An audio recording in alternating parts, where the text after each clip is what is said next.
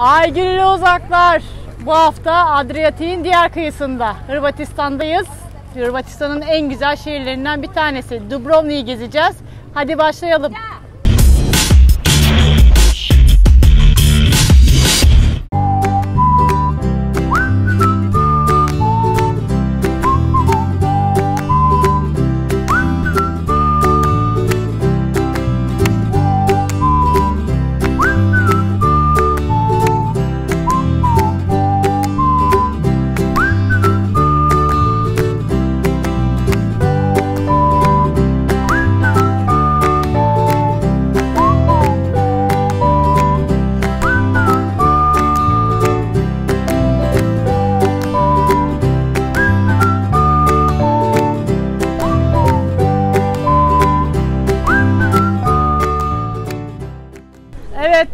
Kavdat'tayız. Kav, Kavdat. Artık nasıl telaffuz ediliyorsa biz onlar gibi telaffuz edemiyoruz ama e, Dubrovnik'e 16 kilometre e, mesafede çok güzel bir sahil kasabasındayız. Neden buradayız? Çünkü burası 2018 yılında Avrupa bölgesinin en güzel e, sahil kasabası seçilmiş. Biz de o yüzden burada kaldık. İyi ki de burada kalmışız. Neden? O kadar güzel ki e, hiç pişman olmadık.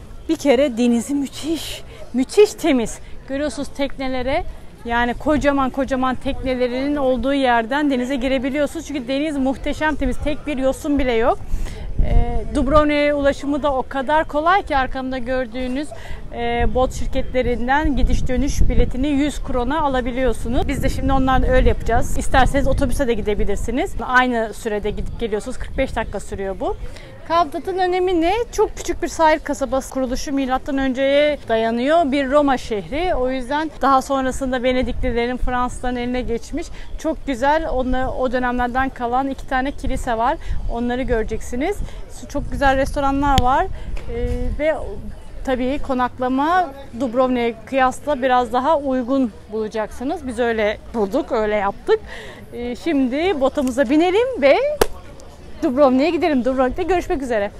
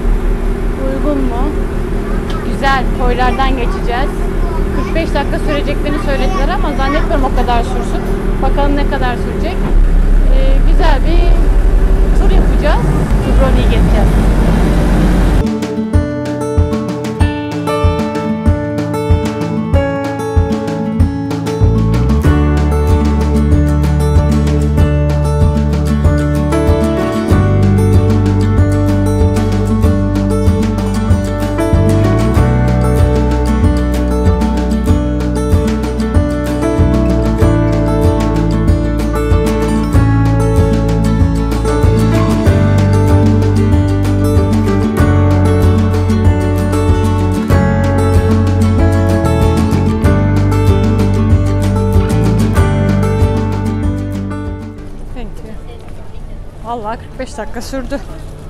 Sürmez diyorduk ama sürdü. Dubrovnik'teyiz. Efendim Dubrovnik'e gelirseniz Eskişehir merkezine girdiğinizde şu an benim bulunduğum caddenin üzerinde olacaksınız. Strodon Caddesi. Ee, zaten görmeniz gereken tüm e, atraksiyonlar da bu caddenin üzerinde. Mesela arkamda gördüğünüz şu an tadilatta olan Orlando e, heykeli. Onun arkasında Sponza Sarayı ve hemen e, Sponza Sarayı'nın karşısındaysa e, Aziz Bleus e, Kilisesi. E, Bunlardan biraz bahsetmek gerekirse Aziz Bleus'tan bahsederek başlayalım. Efendim hikaye odur ki Venedikler buraya saldıracağı zaman bir tane kilisenin papazı kilisenin kapılarını böyle sonuna kadar açık görür e, ve endişelenir bu saatte gecenin bir yarısı bu kapılar neden açık, e, açık diye kiliseye bir girer ki karşısında beyaz saçlı, ak saçlı, ak sakallı bir dede der ki e, şehri uyandır, şehre haber ver Venedikler saldırıya geçecek, şehri alacak. Adam bu beyaz ak saçlı adamı dinler, dedeyi dinler ve şehri uyarır. Venedikler de e, geldiğinde 5 gün sonra geldiklerinde bu şehrin duvarlarını mayınlarla çevrili olduğunu görür, cephaneleri görür ve şehir kapılarının kapalı olduğunu görür ve şehre saldırmaktan vazgeçer. Bu tarihte 2 ve 3 e, Şubat tarihleridir ve adam sorar e, kilisenin papazı bu yaşlı adama kim olduğunu sorar. Adam da der ki benim adım Bleus. O gün bugündür Bleus şehrin koruyucu azizi ilan edilir ve 2-3 e, Şubat'ta eğer buralardaysanız çok büyük güzel festivallere tanık olursunuz. Karşısındaki ise Sponza Sarayı ise 16. yüzyılda yapılmış 1667'deki depremden sağ kalan, sağlam kalan binalardan bir tanesi. Bina zamanında depo olarak kullanılmış, hazine olarak kullanılmış, banka olarak kullanılmış. Şimdi ise sergilere, exhibitionlara ev sahipliği yapıyor. Hemen karşısında şehrin Çan Kulesi'ni göreceksiniz. Ee, Çan Kulesi de saat başı, akşam saatlerinde burada olursanız saat başı gösterilere, ışık gösterilerine e, o da ev sahipliği yapıyor. Ve bir tane de Orlando heykelini göreceksiniz. Fakat şu an tadilatta dediğim gibi o da 15. yüzyılda yaşamış bir şövalye adına yapılmış bir heykel kendisi. Biz buradan Stradun'a doğru böyle 300 metrelik bir caddeyi gezeceğiz. Neden Stradun? O zamanlarda 14. yüzyılda Avrupa'nın en büyük caddesiymiş. İtalyanca'da da Stradun büyük cadde anlamına geliyormuş.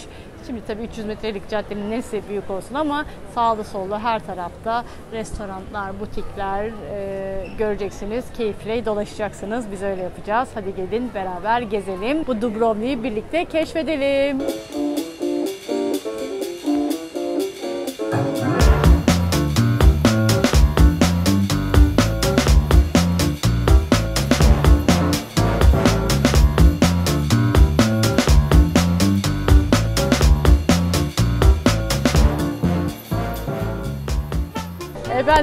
Stradon Caddesi'nin diğer ucundayız. Payal Kapısı'nın önündeki Onofrio e, çeşmesinin önündeyiz. Bu çeşme önemli. Neden önemli? Çünkü Orta Çağ zamanında şehrin su temiz su kaynağı bu çeşme tarafından yapılıyormuş. Bu çeşme yapılmadan önce şehrin su kaynağı e, özel e, ya da topluma açılmış bir şekilde yapılıyor. Özel nasıl? Herkesin kendi sarnıcı var e, sarnıçlarından kendi yağmur sularını topluyorlar. Daha sonrasında kendi günlük su ihtiyaçlarını kendileri karşılıyorlar. Fakat bu zengini var, fakiri var bu olayların. Zenginler bu ihtiyacı çok kolaylıkla sağlarken fakirler maalesef bunu e, sağlayamıyorlar. Bu yüzden şehir yönetimi demiş ki biz buna bir çare bulalım. E, büyük bir sarnıç yapalım e, ve şehrin e, su, temiz su kaynağını burada toplayalım yağmur sularıyla. E, zamanında işte 16. yüzyılda İtalyan e, mimar tarafından yapılıyor. Bu e, sarnıç, su, e, su toplama sarnıcı daha sonra da çeşme olarak kullanılıyor. Bu Orta Çağ zamanında büyük bir kuraklık e, yaşanıyor. Zengini, fakiri hepsi susuz kalıyor ve böylece şehir yönetimi harekete geçiyor ve arkamdaki e, çeşmeyi yaptırıyorlar. Buna büyük e, onofrio diyorlar. Büyük sarnıç diyorlar. Bir de bunun küçüğü var. Küçüğü de daha az önce gösterdiğim e, belediye binasının orada bu Sponza Sarayı'nın içinde. Sponza Sarayı'nın zaten e, su toplama sarnıcı demek Divona. E, eskiden Divona'ymış adı. Daha sonra Sponza'ya e, dönüştürülmüş. Sponza da zaten sarnıç anlamına geliyor. Hemen arkada şehrin duvarlarını görüyorsunuz. Zaten Dubrovnik'e geldiğinizde e, duvarlardan e, başka bir şey göremeyeceksiniz. Çünkü şehir duvarların içinde, eski şehir duvarların içine yapılmış. Şehrin savunma duvarları e, Avrupa'daki en iyi korunan ve günümüze kadar gelen en güzel duvarlardan bir tanesi ama girişi 200 kron e, ne yapıyorsunuz? Yukarıdan şehri, e, eski şehri görüyorsunuz. Peki neden yapılmış? Tabii ki her e, şehir duvarı gibi, kale savunma duvarı ol, e, olduğu gibi savunma için. Neden? Çünkü Adriyatik üzerindeki en büyük ticari şehirlerden bir tanesi olmuş zamanında bu Ancona'ya, Venedik'e karşı gelmiş, Cenova'ya karşı e, büyük bir tehdit oluşturmuş. Tabi bu tehdit e, zamanında savaşlara, saldırılara da e, söz konusu olmuş. O yüzden şehir kendini korumak için bu duvarları yapmış. E, bazıya 2000 metre kadar, 1950 metrelere kadar yükselmiş. En e, kalın tarafı böyle 4 ile 6 metre duvarın kalınlığı 4 ile 6 metre en e, zayıf tarafıyla 1,5-3 metre arasında bir e, kale duvarları söz konusu. E, şehre işte buraya geldiğinizde eğer o işte eski şehri görmek isterseniz, yukarıdan bakmak isterseniz işte şu merdivenlerden, arkamda gördüğünüz şu merdivenlerden insanların gezdiği gibi gezebilirsiniz. Bir de hemen o de, merdivenlerin solunda kalan e, bina ise Fransisken mezhebine mensup bir manastır. E, Fransiskenler buraya geliyor 13. yüzyılda ve bu manastırı yapmaya başlıyorlar. E, yine Avrupa'da en iyi korunan manastırlardan bir tanesi e, ve içerisinde hala fonksiyonunu sürdüren dünyanın en eski üçüncü eczanesi de bulunmakta. Gelirseniz müze şekline e, dönüştürülmüş. Orayı da gezebilirsiniz. Ama bizim gibi sokaklarda kaybolarak şehrin tadına da varabilirsiniz. Messi buna uyuz oluyor ama ben hepsini de söyleyeceğim. Aygül Uzaklar devam ediyor.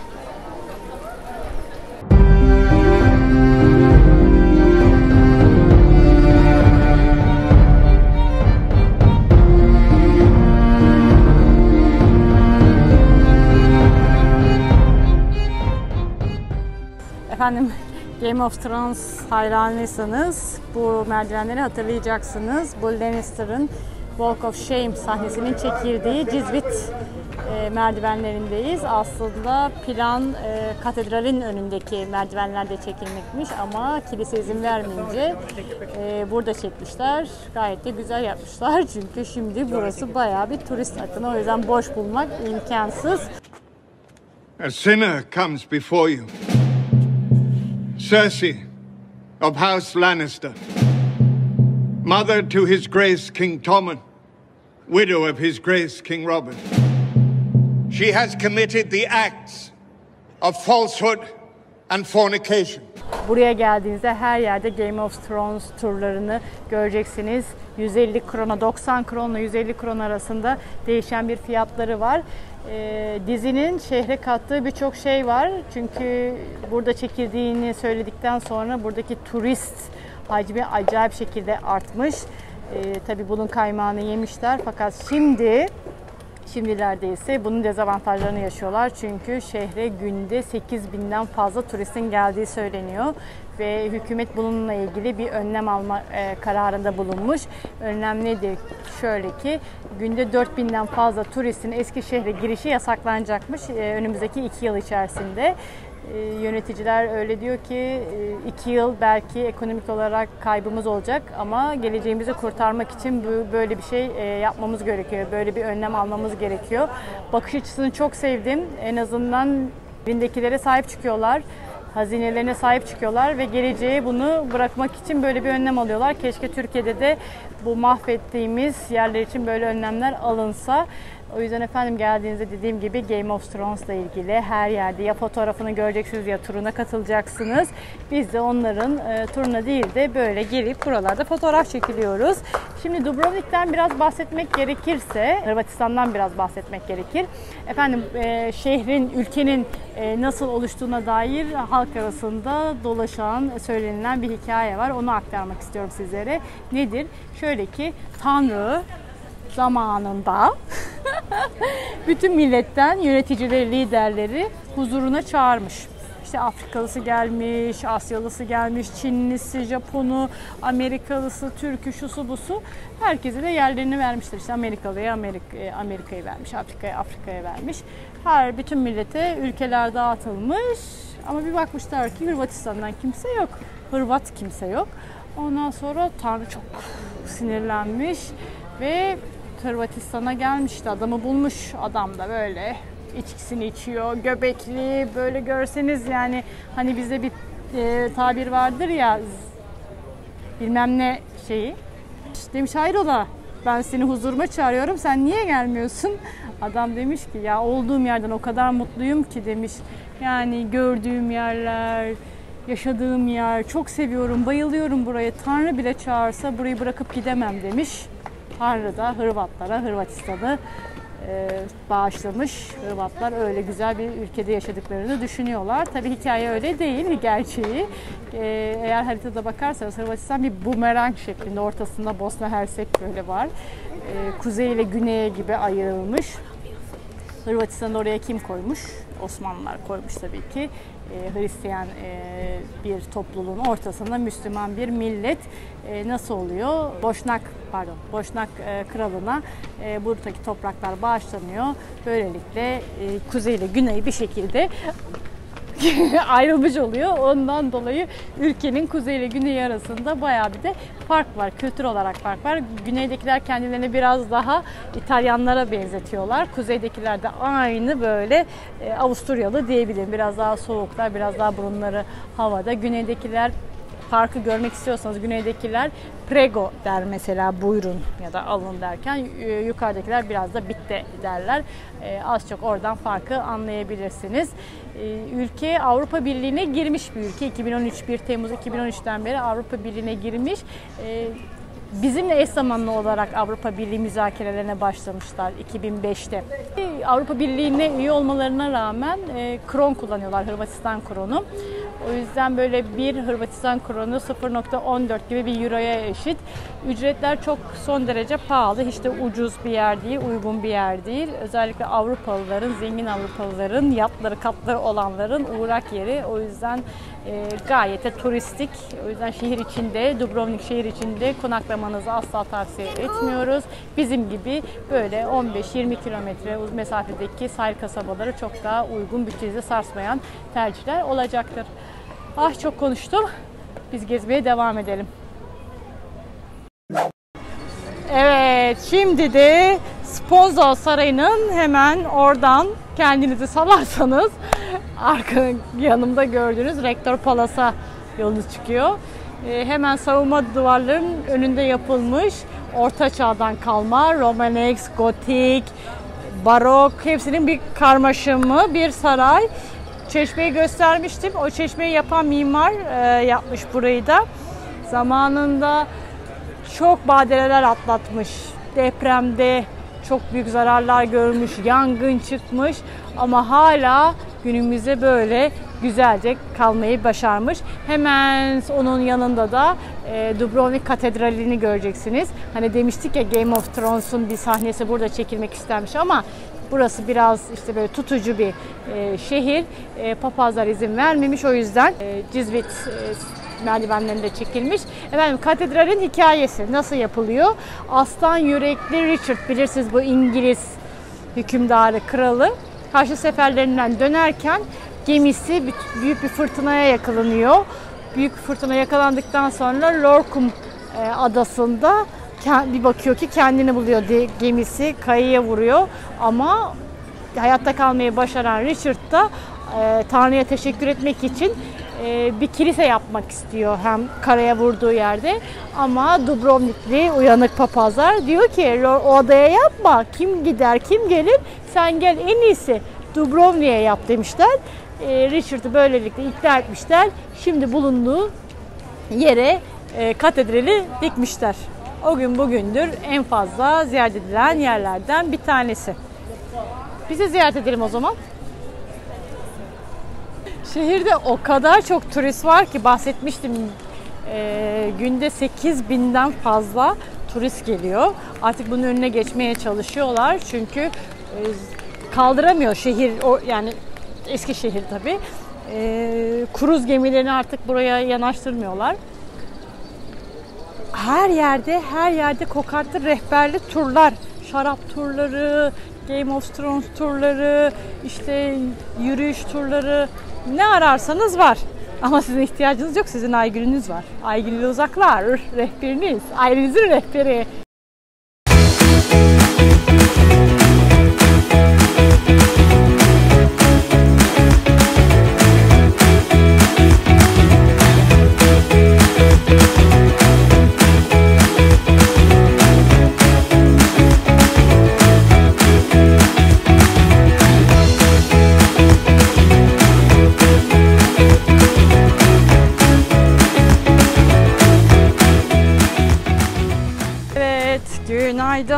Yani bize günaydın artık.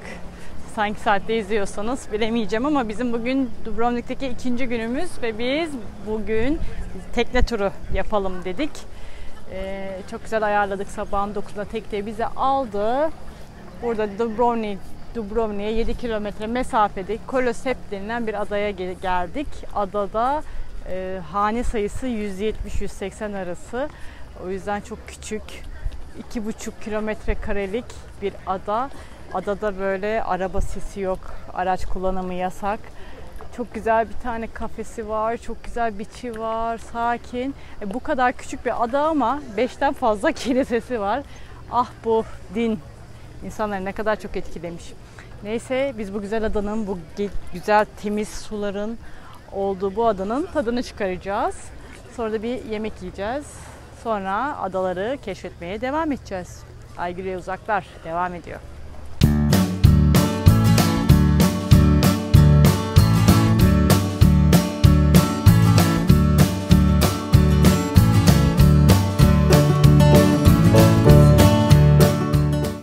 Şimdi de son adaya geldik. Loput adası. Ee, bir kaçamak yaptık. Vallahi dayanamadık. Denize girdik. Saçlardan da belli olduğu üzere.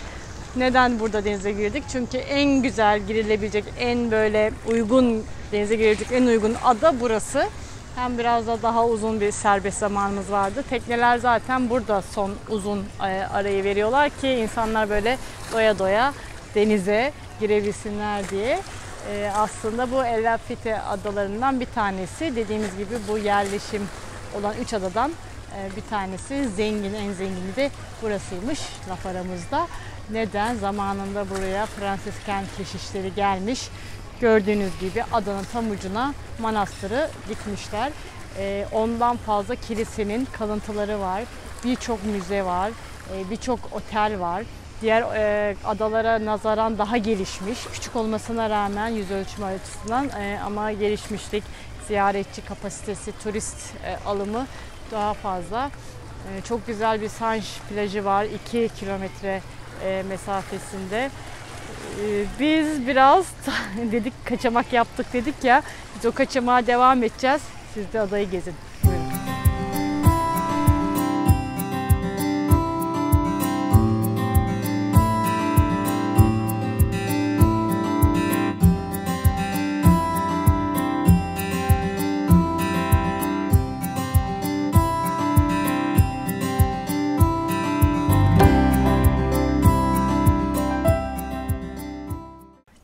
Güzel bir gün geçirdik. Çok güzel bir tekne turu yaptık. Üç tane e, adayı ziyaret ettik. Gördüğünüz çok güzel adalardı. E, saat 9-9.30 gibi tekneyle çıktığımız turu 6.30-7 gibi bitirdik. Şimdi kaldığımız yere geldik, otelimize geldik. Bu muhteşem manzaraya karşı Mesleğiyle bir şeyler içeceğiz. Bugünü burada noktalıyoruz. Ayrıca Dubrovnik gezimizin de sonuna geldik. Yarın sabahın çok erken bir saatinde İstanbul'a uçacağız. Aygül Uzakları izlemeye devam edin. Bir sonraki macerada görüşmek üzere. Kendinize iyi bakın.